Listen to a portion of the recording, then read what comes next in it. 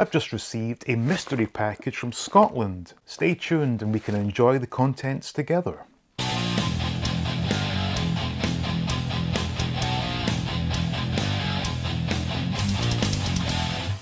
Welcome back. Now I haven't received a mystery package in quite some time so I'm particularly excited by this one. Now this has been sent very kindly from my friend Derek over in Scotland and you may recall seeing a video or two before where he has sent some really cool stuff in the past and today this has just arrived. Um, it's taken a while. This was sent on January 11, so today is what, February 22nd. So that's a rather long journey, but it doesn't appear to have been abused by the customs folks. So let's go ahead and see what it is. Uh, rather excited by this. And I do have my knife handy just to help things out.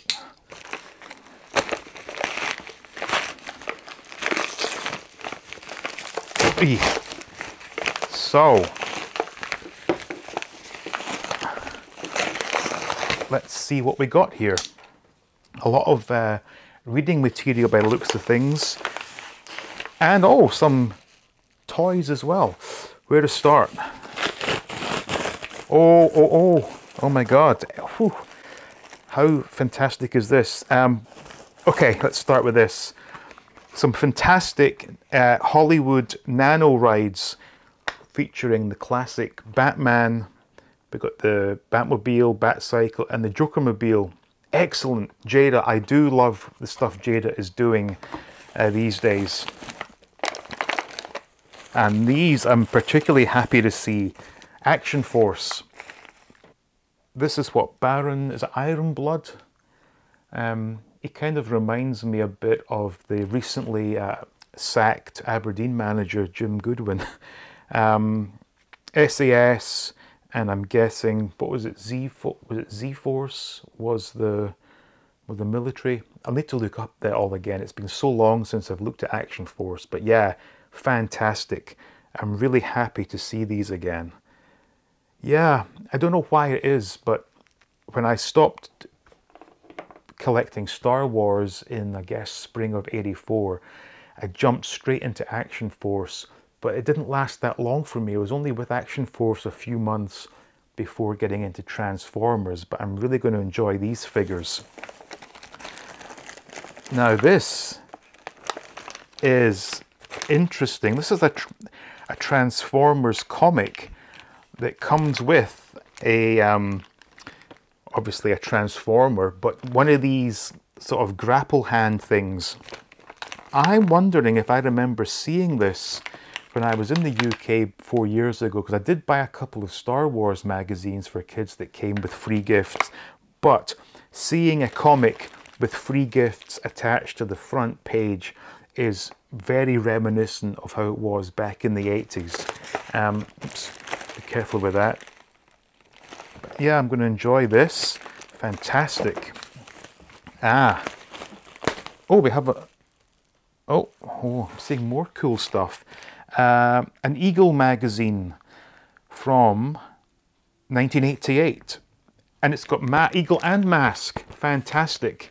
Uh, I do not remember this personally because in 1988 I was well into high school and had given up and there's two in fact, had given up on toys um, definitely some point late 86, 87, so I would not have been aware of this uh, double bill.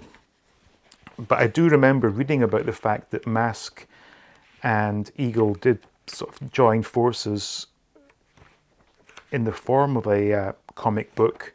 I'm going to really enjoy that. And another Battle Action Force, this time 1984. So this February 84. So yeah, quite possible I would have seen this on newsstands, although I was still into Star Wars at that point.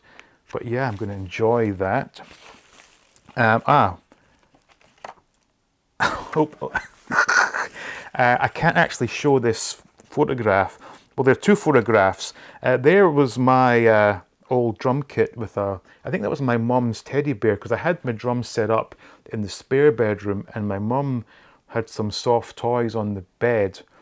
So that was the teddy bear holding the drumstick. Uh, this one is actually a picture of uh, my ass and my friend Gordon's ass uh, mooning the camera. Uh, obviously, I'm not going to show you that here, but there is a note.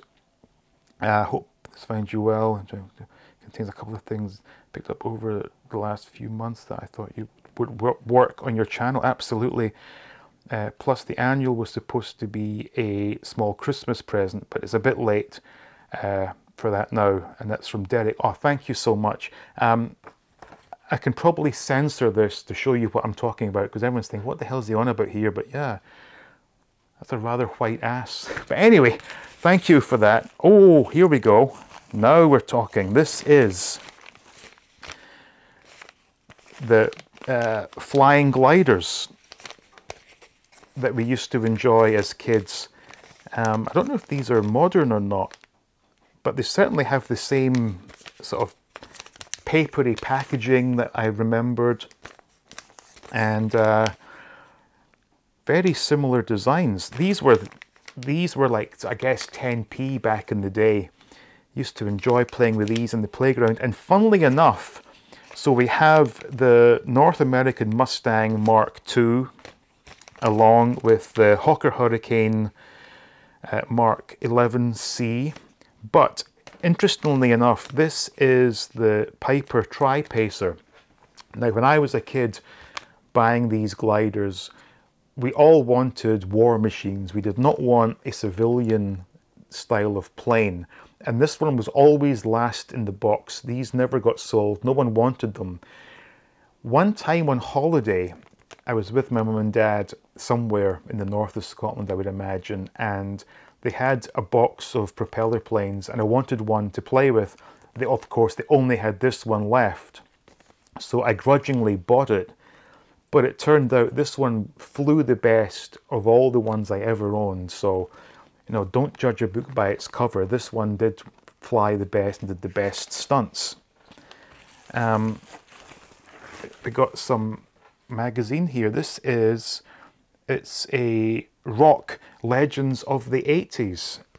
Fantastic. We got Bruce Dickinson, Axl Rose, Slash, and Springsteen on the cover. And, uh,